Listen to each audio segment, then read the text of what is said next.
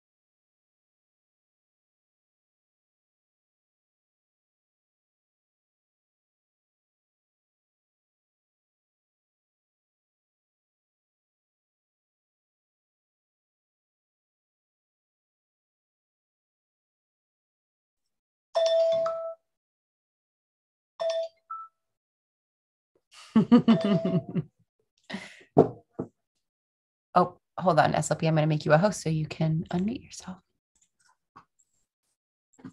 There you go. Yay.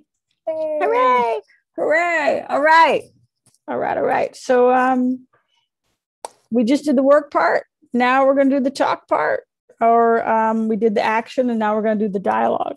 So um anybody have any questions about your work, your creative process? Um, you know, fire away. Let's talk. Look at all these beautiful people. Hi, people I recognize, like Emanuela and Nick and all the guys. Crystal. All right, Crystal, you're up. Oh, you have a question. All right, girl. Go for it.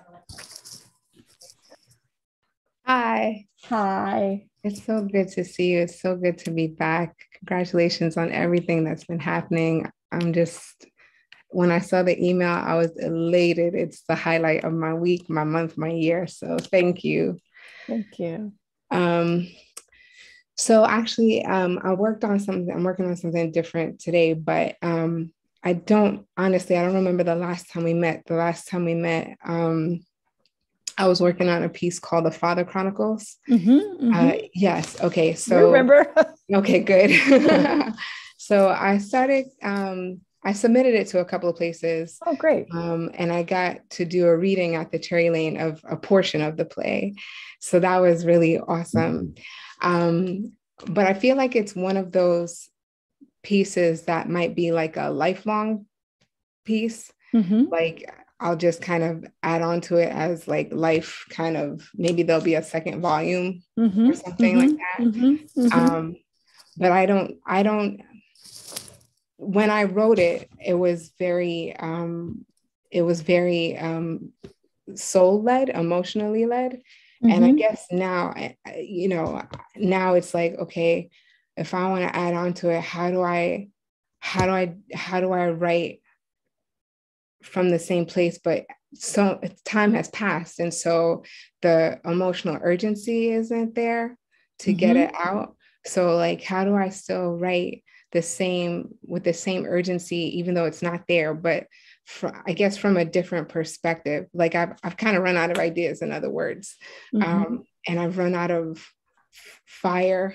Um, mm-hmm. sorry, fire for it. So I guess I'm just wondering how how do I continue the process mm-hmm. of that particular story, knowing that it's it's just going to take it's probably just going to be something that's going to be a part of my life for uh-huh. a, long while. Uh-huh.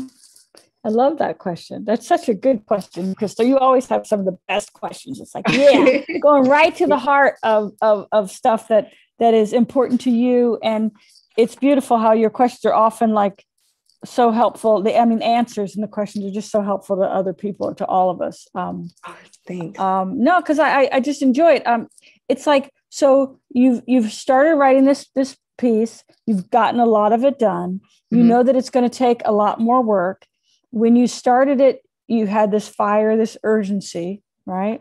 right. And now knowing that it's going to take something you're going to be adding on throughout your whole life, or at least for a little while longer, like maybe a couple, you know, you don't know, but it's going to take more time. How do you write with the same kind of fire and urgency? Right. I mean, now you guys know me. I'm going to talk about dating, right? It's like dating you know, that first date, you know, you can hear the music, you know, right? It's like your favorite, you know, that kind of thing. Um, and then like, you know, you're with somebody for a little while, and then like, who's going to do the dishes? And mm. are you going to go out in the snow and get the milk or the, the the soy milk or whatever it is? You know what I'm saying? It's right. like, um, you know, sort of passion can get you can get you stuck can get you in bed but you want something to keep you right and that's dedication right that's dedication so you have to treat it like you would uh, a, spouse or a relationship or just a good friend let's take the, the the romance thing out of it just a good friend right i mean so the first so when you're writing your work in the beginning it's all like yeah i'm excited i'm on fire oh you know i'm on a roll this is great and then like then it's like all right now you got to just show up every day and you got to throw some words down. Right? Mhm. And that's what you got to do. So I would say dedication, discipline, a schedule is your friend. Right? And you know, this is like I'm the broken I'm the mom who keeps saying the same thing. but, but it's but it, it's you know it, it's been very helpful to me because you know I start things and then you know after whatever a week, a month, a year, whatever, I'm not as excited about them. But then the schedule is my friend. So I say I pick a time every day where I'm going to show up for the work, right? And Crystal, I mean, say you're writing more than one thing, right? But you say I'm going to show up for this for the Father Chronicles for for 30 minutes a day. 30 minutes every day or, or whatever time is manageable you fi- 15 minutes you know wh- whatever time is manageable. Um, i would say uh, choose a 30 minute ti- time so, sorry i have my guitar picks on. Choose a, a, a, a smallish time slot so it can be manageable you know? So 30 minutes a day every day you're going to show up for the father chronicles. You're just going to just talk to the play. Just what do i got? You know again my some of my you know my favorite things. Where are they? Here they are. My desk is such a mess. Um oh look it's the index card. Da-da-da-da. the blank. I know right? My favorite thing. I've done more writing.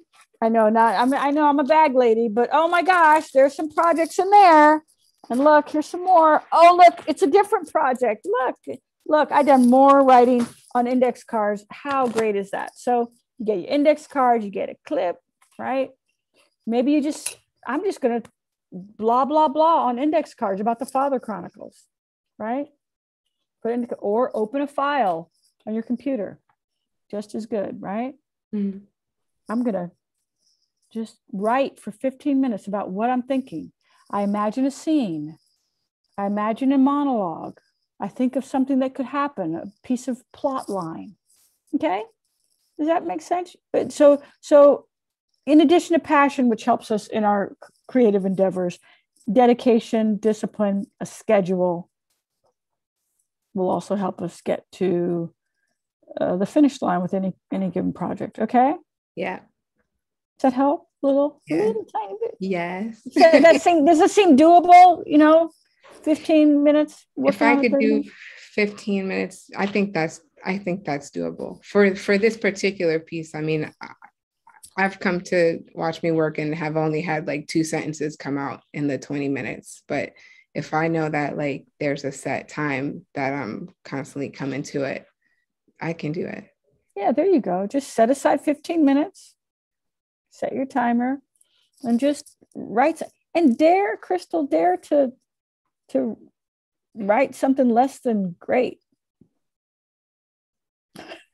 Yeah, I think that's my fear only because where, you know, again, where I was writing from was like a grieving place.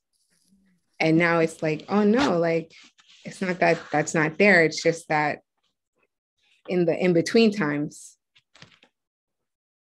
I got nothing, you know, or there's, you know, I don't know. Well, you can replace the I got nothing to I got something. It's just a little maybe it's just a little harder to get at. You yeah, know? So Yeah. maybe it's maybe they're the emotions are more, you know, shy. They're shy emotions. They're emotions that aren't so ready to come out, you know, they need a little coaxing. You know, they need Yeah. a, a little more faith in them. Maybe they don't think they're appropriate. You know, yeah, you know, maybe they're awkward and weird and and not as nicely formed or as, you know, as, as fully formed, you know. yeah, So they need a little more dedication on your part. You know, yeah, you know, before you were showing up for yourself and for the grieving process, and now you're showing up for that next level of writing. which is the dedication. Yeah. And that's, you know, and there, that's where the artist is made. Yeah. Okay. You know, Yeah, you know, yeah, so it's also just to know that what you're going through is also all part of the artist's path it's all part of the journey you know it's not like you failed because it doesn't come easily or it doesn't feel all the same you know Yeah. You can also tell yourself when you say, I got nothing, say, I got nothing uh, that's easy right now. Well, I'm, I'm, I'm digging, I'm sitting for it. You know, give yourself some positive feedback. Okay. You know, that, that'll help. Okay. Yeah. Yeah. Okay. Thank you. Thank you. I always love your questions. Love seeing you, Crystal. Same here. Crystal. All right, we've got our next question. Monique. All right. Go for it. Hi. Um, I was hey. wondering if you can talk a little bit about um, what happens for you in the revision stage. So you wrote the first draft, and what what are you looking for? What do you do mm-hmm. in that next draft? Great. That's a great question, Monique. Again, a, a great question, which is helpful to me and for everybody. So, um, yeah, there's um, let's see. There's I often say there's two kinds of courage. There's the writing, the courage of writing, the courage of making that first draft, right? Which takes a lot of nerve and guts and and passion and dedication, all those things. And then there's the nerve, passion, dedication that comes with the rewriting process. That's the second kind of courage, right? What I'm what I'm looking for, and what I encourage people to look for is listen for if you read it, can read your work aloud, right? Um, preferably standing because you're you're on your feet. You know what I mean? I mean, no one has to be watching. You don't have to have an audience. That's not what I'm implying. But you stand up there and you read your work aloud to yourself. I mean, you read it out loud to, if you can get some privacy in your room, and you listen for what where it feels like it's moving along, and then where maybe it feels like it's going, oh, like that. Okay, so those parts you can just note, like, okay, I'm not as engaged right there, you know? Um, uh, maybe, you know, I'm not sitting forward, I'm not leaning forward, I'm kind of leaning back. Okay. The energy isn't quite as intense as together. Um, so you look for those parts. Um, and th- I mean, that's the main thing I look for where my energy is sharp and where it lags. And I also read it and go, how is what is this? How does this scene feel? What is this scene? What is this scene about? You know, if it's a play, even if it's a novel, what is this? What, what is this chapter about?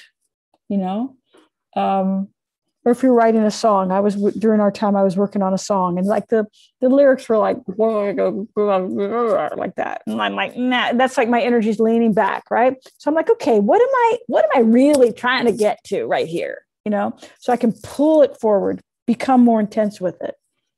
Does that make sense? Yeah. And I often do this little game just for fun. So, um, what's your, do you, let's see, um, what's your favorite color? I'll give you some choices brown, gray, black, white. Which one would you choose? Gray. Okay, great, good. Like we'll say today, gray, silver. Okay. And can you think of your favorite piece of music just off the top of your head? It would be something by Rachelle Ferrell. great, Rachelle Ferrell. Okay, great. So there you are on this gray horse, right? This beautiful gray horse. And you have in your hand the sword of discrimination, which isn't like racial discrimination. It's like you can tell what should be in your work and what shouldn't be in your work, right? And you got your favorite song on, and you are going through a field and you are cutting down everything plants. These are plants, like a wheat field. You're pruning everything that doesn't doesn't fit doesn't sound right right? And you're just going. And so it's a joyous process. And the beautiful thing about doing that kind of pruning in your work in my experience what happens when you cut something i, I say i take out the magic scissors. One of my favorite songs is what's that song? Um, this shit too high you gotta cut it. Anyway it's about drugs but i pretend it's about writing. So um but um I cut stuff. And what happens when we cut is that it falls to the ground and it falls on fertile ground. And so, more often than not, you will find another place to put that maybe beautiful passage that you cut, that beautiful line of dialogue, that beautiful moment in your novel, those beautiful lyrics, you know? So it's not like you're cutting them and throwing them away and you'll never see them again. You're cutting to make the thing that you have the strongest it can be. And then the other bits that you've cut will probably resurface in some other work at a at another time. Okay. So it's a joyous process. The editing is a very joyous process. Okay. okay. Thank you. Thank you. Thanks, Monique. Great question.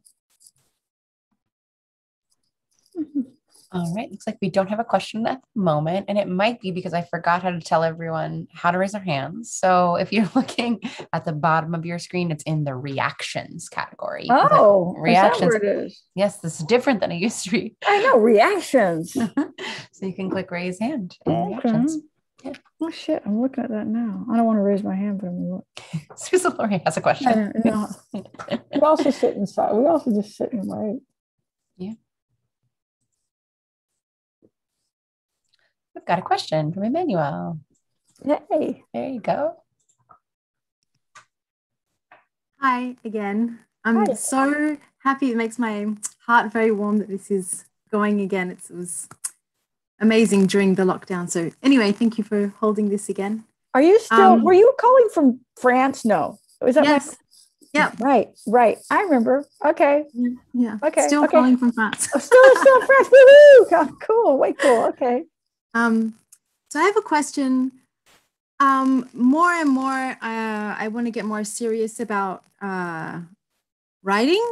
I've always done it, but it's and it's something that I feel is very important, but it's always taken a back seat. And I think it might be fear or something. So, but right now it feels like a transition period. The the lockdown helped a lot with that. Um, that it's something that is vital and needs to come to the forefront. So, um, I guess some kind of advice to get rid of all the distractions and everything else that becomes important and more important and takes all your attention. And so, oh, I don't have time to write, but that's a very big excuse. So that's my question how to give birth to that importance. Right right right right. That's really that's another really good your questions are so good today. Okay no, um that is great. And and we all have something that you know we have things that we feel more comfortable doing whatever it is you know uh, like what what do you do for your like job job Manuela uh, I am an actor, singer, and I teach as well. Okay. Okay. I've got like all different projects that kind of no, that's fantastic. so you're already like putting yourself out there in a major way, right? You're already putting yeah. yourself out there in a major way. So this is so maybe you say, oh, I, I'm I'm I'm whatever. I'm preparing for a role. I'm going to an audition. I'm I'm teaching a class. I don't have time for my own writing. So maybe you put those important things getting to the forefront, right? And your writing might be taking a backseat to these things so it's it's harder to to look critically at those important things because that might be how you pay your rent or it might be how you just have your great joys in your life. Um, if you're spending you know 20 hours a day doom scrolling we that's easy to talk about cutting out. But if you're spending many hours a day preparing for a class or teaching a class or whatever that's a little difficult. Um, so hmm. so it's let's just say that uh, n- nothing that's taking up your time is bad. Okay. Mm. Let's not like condemn the stuff that's taking up your time. Let's just to get, like you said, make room for the thing that you also very much want to do. And I would say hmm, deadlines are good, or finish lines, finish lines, hmm. you know, are good. So I would say um, maybe uh, friendship groups. This group is really good for that. I know a lot of people who come to watch me work have said, and James is not, he said, people are not Jim did, you know, people nod their head. We said, like, okay, so how about um, by the end of the year, right? The end of the calendar year, December, you cross the finish line with a piece that you're that you're wanting to finish. Okay, is that possible? You know, is, is that possible? Yeah. Okay. So, how many pages of that piece would you need to write, do you think? Hmm. Um, I'd say 50. F- five, five zero? Five zero. Okay, yep. five zero. Okay, great. So today is the 15th of November or the 16th of November in France. Mm-hmm. So anybody good with math? We got 30 days in December-ish, you know, 31 days, and then we got like it's 45 what? days, I guess. Thank you. Great, great. Okay. Okay. So you got like, let's just say, let's just say you gotta throw out, throw down a page a day. Right? Mm-hmm. Yeah. That's okay. That's okay. I didn't say they have to be like prize winning, publishable, the world is going to read them pages. I said pages. We're talking what uh, Julia Cameron says a lot. We're talking quantity. Don't worry about the quality, right? We don't worry about the quality. Not when you're just running toward the, the finish line. Um, okay. So, what I want you to do is see, see if you can get a page a day. Okay. Yeah. Um, which means which means what you're going to have to do you have maybe um, 30 minutes a day to devote to this project okay do you have two instances of 30 minutes a day where you can devote to this project yeah okay because that's kind of dealable right if i say like okay sit down and turn on your timer for a whole hour that's like ah right yeah. but if you have two 30 minute segments a day that might be more manageable Yeah. or four 15 minute segments a day. Whatever's going to, whatever works in your day. Mm-hmm. And then I just want you to set your timer and just spew stuff, vomit out stuff. And we can get competitive about who's gonna who's gonna write the shittiest draft. But it, what you're gonna do, what you're gonna do is you're gonna get in the habit of prioritizing your writing, mm. you're building a habit. And someone said, some I was reading somewhere, I'm looking around, it takes 21 days to make a habit, whatever. You're training yourself. You're training your brain, you're training your your whatever wiring, whatever it's called in there, right? Mm-hmm. Okay. You're training yourself in the habit of your day. Maybe if you have a spouse or roommates or something, you're training them to see you writing, all that kind of stuff, right? Training your cat oh, that's impossible, but oh, look, cat, I'm writing, you know? Mm-hmm. Okay. But does, does that, does that make sense? So what you want, to do is you want to give yourself 30 minutes, a couple of blocks a day in which you're just going to vomit out stuff. And what you're looking for is to get a manuscript of a certain length. And then at the end of the year, you write the end on it. Mm. Mm-hmm. And then we go into what we talked about with with with who was? Monique a minute ago. Then we'll talk about rewriting. Mm. Okay.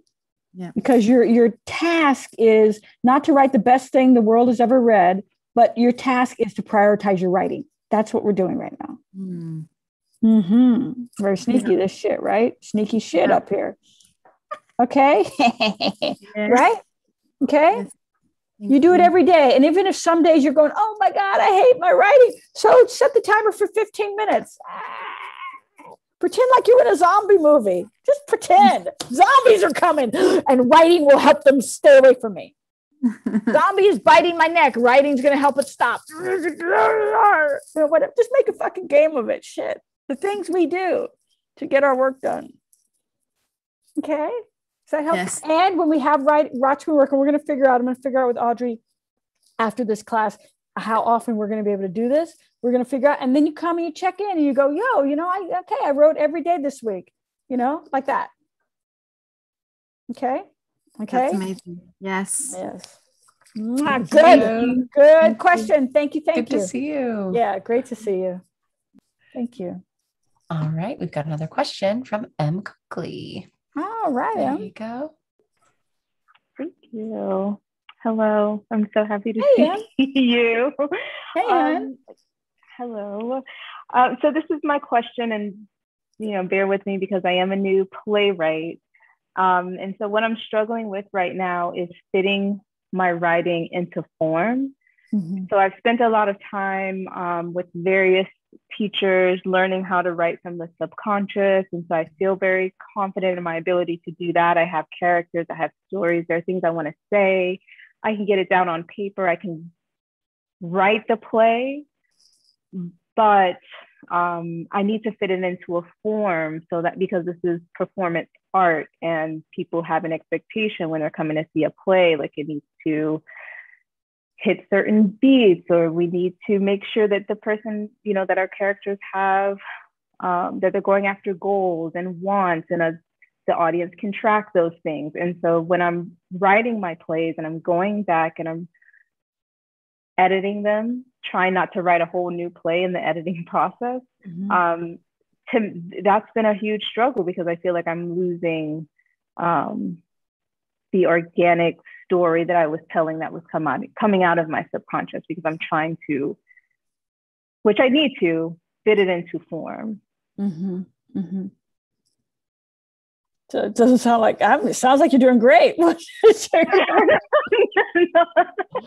know. This, this, is a this is a this is a I no. mean that's what I was working on after, during this period was okay I need to make sure that this is hitting all of those um, mm-hmm. check marks I guess but I, I don't want to call it that I just want to make sure that the story that I'm telling is resonating with the audience. Uh huh. Uh huh. Uh huh. Well, the, it's so so. Hmm. Hmm. Uh, uh huh. Do you have uh kids? No. A pet? I used to. Okay. Well, a dog? Cat? It was a cat. Yeah. A cat. Right. Cats are a little tricky because but no, but but um because because uh, cats have a big subconscious and like it's like I am always gonna be free. You know, a great cat, great. But but cats also appreciate structure also they like to be fed right by yeah. the by their by their person okay what i'm saying is your relationship to your between your subconscious and the check marks or what are the story beats let's call them right that you're yeah. talking about is not adversarial it's like a cat to its person Ooh, oh, good. Oh, good. Cat, like, oh, yes. Oh, I like that very much. Your subconscious really likes that because when you take the story and and allow it to organize itself in uh, within those story beats then you crank up the delivery system right? Have you ever had someone tell you a story like blah blah blah blah blah blah, blah, and you're like, what are they even fucking talking about, yeah. right? I mean, all those people who just random ass shit, right? And then someone's gonna tell you, okay, once upon a time there was this woman, right, and she had some long hair, and she was up in a tower, okay, and then you're like, yeah, wow, what, right? We so you're you're you're improving the delivery system, and that's what those story beats do, okay. Okay, so I think part of maybe what I'm hearing is part of the problem is you think that they're in conflict. Yeah. They're not mm-hmm. in conflict. They're actually the same thing. It's just, yeah, okay. They're very friendly. Okay, it's okay. like I mean, and I I've had uh, well, I've had a couple cats and but more dogs than cats you know, and and a kid, you know, kids, you think, oh, they just want to be free. They just want to do that. No, they don't. no, they want a parent to say, sit down and, and eat your food eat your dinner, do your homework. Kids need structure so they can grow into, you know, like people who you want to have a conversation with. Okay. Okay. So yeah. you're, you're, and your, and your story wants a structure also. Um, it, it longs for that. And there might be people who tell you differently. Um, and that might be true for them. In my okay. experience, and I have a very active subconscious, you know, but my subconscious, oh, love, it's like a cat. Yes. Oh, yes. Then, because then I can tell you a story that's going to click into your head, quiet all the chatter, all the background chatter, and totally like control the room of a thousand people at a time. Mm-hmm. So if you want to do that, you know, make friends with the structure. Make friends. Yeah, okay. make friends. But you're, you're friends already. You're friends already. It's not make friends. Just acknowledge, you know, pet the cat. that makes so much sense. Okay. okay. Yeah, I was coming at it from this adversary point of view, but we both serve a purpose. So yeah, pet the cat. The cat's gonna purr. It's gonna be great. I appreciate that. Thank you. Sure. And, and and remember, like I was I was telling Monique, everything you trim and cut and shape, if you have to put it off to the side, no worries. It's going to flower in a different work. You know what I mean? Yeah. It's not dead, it won't die. It's just going to grow in a different garden. No worries. Okay. Okay. Thank you. You're welcome. Um, I'm going to take that on too. I know. I know. Me too. Me too. hey. All right. We got about five and a half minutes left. So we've got maybe one more question.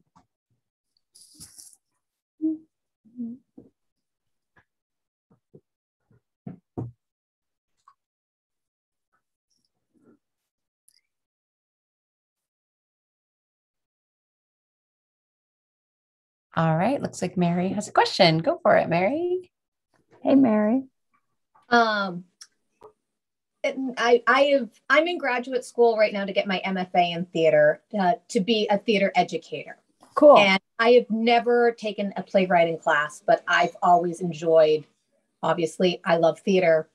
I love plays. So I'm just starting to like delve into playwriting, and of course, not being offered next semester when you're writing a play, do you write like a synopsis or a story first before you get into dialogue? And I know this is very like playwriting 101 question, but I, I just don't. I have a great, I think it's a great idea for a play, but I don't really know where to start. Right, right. I love that question. I think it's a great question. Um, it, it depends on the project, how I approach it. I would suggest a uh, like an outline, a beat sheet, a synopsis. Why do I suggest that? Because again, you don't, like we're ta- talking to M, you don't get so uh, wrapped up in the river of your subconscious.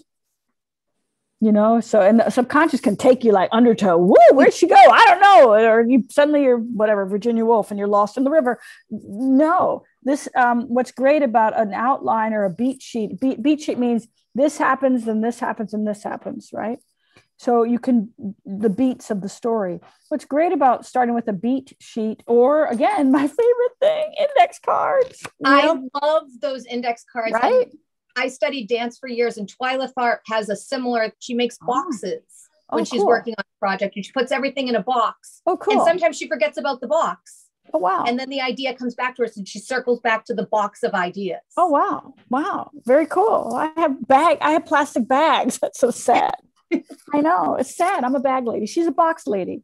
Cool. She's a box lady, bag lady. Box lady, bag lady. But so the card, so this is kind of because it's it's sort of I love cards because you can carry them around in your bag or backpack or fanny pack or sling or pocket right? They're kind of cool.